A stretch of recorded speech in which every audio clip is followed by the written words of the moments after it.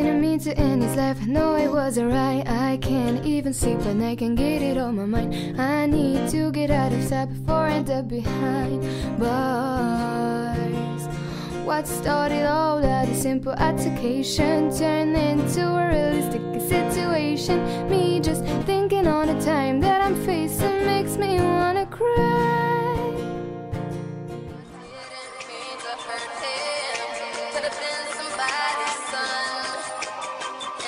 Took his heart. I pulled out that gun. Rum pa pa bum, rum pa pa bum, rum pa pa bum.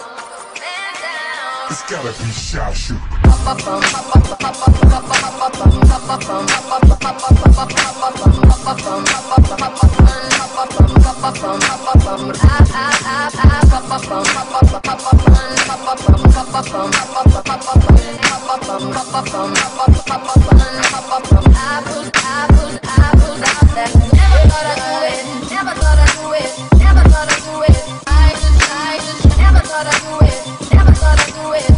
thought I'd do it.